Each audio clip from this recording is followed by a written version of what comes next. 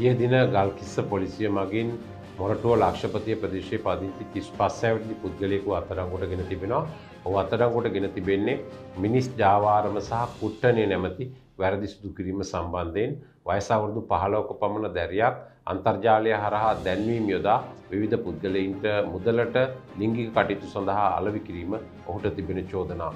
මේ සම්බන්ධයෙන් ලැබුණු තොරතුරකට අනුව විමර්ශනය කිරීමේදී අන්තර්ජාලයේ විවිධ දැන්වීම් පළ කරමින් මේ පුද්ගලයා විසින් මෙම දැරිය මාස් තුනක් කාලයක් මාස තුනක පමණ කාලයක සිට මේ ආකාරයට විවිධ පුද්ගලයින්ට දිනපතා අලවි කර ඇති බවට වාර්තා වෙනවා.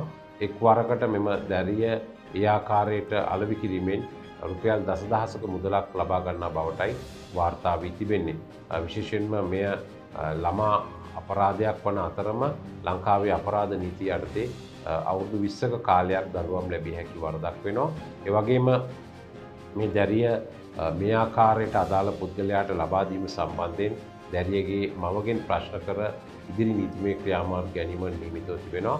එවගේම මෙම දැරිය මාස් තුනක පමණ කාලයක් මේ ආකාරයට මිලදී ලබාගත් පුද්ගලින් පිළිබඳවද මේ වන විට විමර්ශනයක් ආරම්භ කර තිබෙනවා. අතරංගොඩගත් සැකකරු ඊයේ මොරටුව අධිකරණය වෙත ඉදිරිපත් කිරීමෙන් අනතුරුව රක්ෂිත බඳනාගාරගත කිරීමට කටයුතු කර තිබෙනවා.